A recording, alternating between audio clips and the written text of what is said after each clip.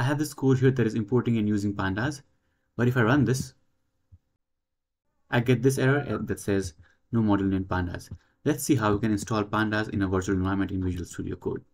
So first, you'll need to click on terminal here. Now I have zoomed the studio. In your case, you can just click this terminal here. Go to terminal, click on new terminal and type this command python dash m venv and then name of your virtual environment. You can just call it my dash venv. Hit enter and this virtual environment will be created. As you can see here, this folder is created and it is asking, we notice a new environment has been created. Do you want to select it for workspace folder? You can just click yes here.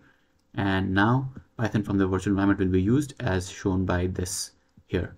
Okay, now let's wait till this is finished processing. Once it's finished processing, you will come back to this new line and now we need to activate it.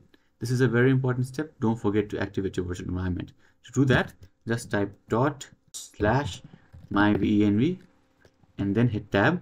This is forward slash, not backward slash, and then type scripts s-c-r-i-p-t-s and then activate. Again, you can hit tab to autocomplete.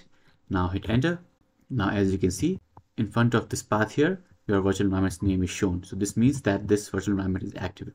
Now you can install all the packages and this will be installed in virtual environment. So type pip install pandas and hit enter. So this will install pandas in this virtual environment, not globally. And this pandas will only be usable by this project. So you can have different versions of different modules in different projects using virtual environment. Let's wait till this is finished. So after a while, all the packages are installed as you can see by this message successfully installed.